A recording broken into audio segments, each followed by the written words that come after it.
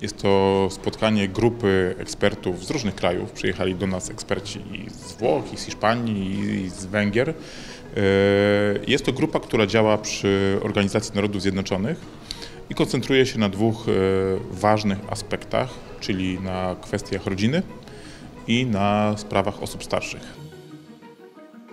The United Nations is celebrating next year the 30th anniversary of the International Year of the Family. And for this reason, we have been organizing expert group meetings together with the Department of Economic and Social Affairs on the topics suggested by the Secretary General.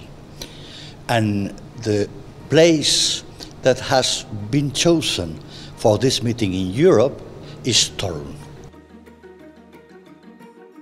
Nasza rola y, sekretariatu ONZ polega na tym, że y, robimy y, badania, porównujemy politykę społeczną w różnych krajach i rekomendujemy, jakie polityki są najlepsze. Na podstawie naszych badań y, przygotowujemy raporty i te raporty mają rekomendacje. Następnie te rekomendacje są y, brane pod uwagę, jak negocjujemy rezolucje, czyli są rezolucje o rodzinie, o osobach starszych i, te, i w tych rezolucjach dajemy dokładne, bardziej specyficzne y, rekomendacje, co należy, czym należy się zająć.